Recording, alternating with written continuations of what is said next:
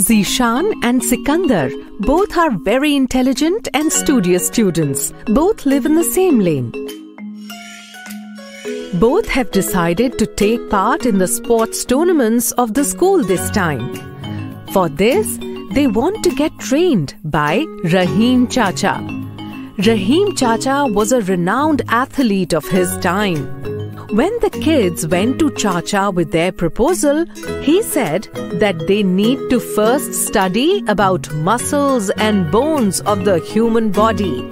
Only then he will train the kids. After studying, they went to Rahim Chacha. Chacha, we have properly read about bones and muscles. Would you train us now? Yes, why not?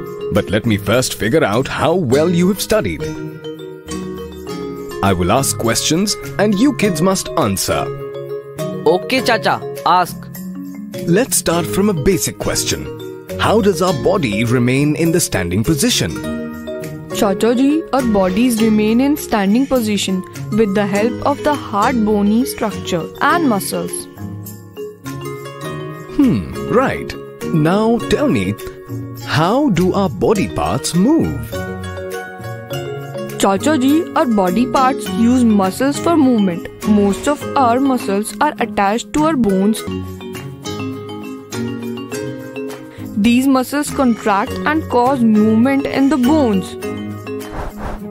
Explain it further in detail. Chacha ji, let me try. As our muscles can only pull bones by contracting, but cannot push them. That is why at least two muscles are needed to cause movement in a bone. For example, if I close my fist and touch my chest with it, then the front muscle of my arm swells as it has contracted. And if I take my hand back, this muscle will relax and the muscle at the back of my arm will contract. Well done! The front muscles of our arms are called biceps and the muscle at the back of the arms are called triceps. Okay, now explain that can we bend or rotate our body parts like hands, legs on places other than the joints? No. Then how are we able to bend and rotate our body parts at the joints?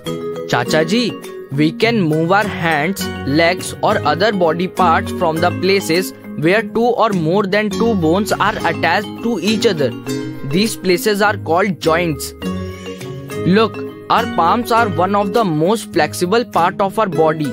We can spread our fingers like a claw, can make a fist with it, and can move it in various ways to write as well. We can do this as there are many bones and joints in our palms.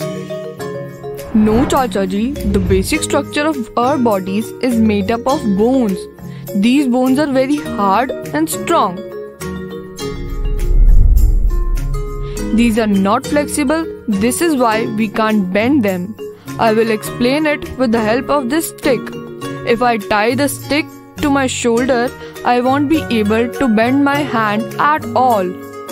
Very well, kids. Okay, now tell me how many types of joints are there in our body? Chacha ji, there are many types of joints in our body, like ball and socket joint, through which the bones of our hands are also attached to the shoulders and thigh bones are attached to the hips. Pivotal joints keeps our head attached to the spinal cord in our body. Other than these, we also have hinge joints and fixed joints. Now tell me, which joint is helpful in which kind of movements? Chacha ji, we can rotate our neck left and right or up and down with the help of pivotal joint.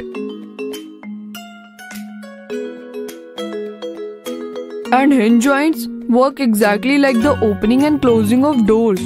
These joints are found in our knees, elbows, and fingers, etc.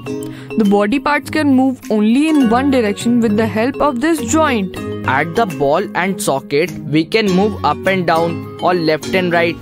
The joint found between our hands and shoulders let us rotate our hands in all four directions to some extent. See, we can also move our legs left and right or backward and forward.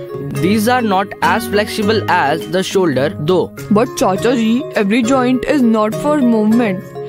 There are some joints which are there for strength only.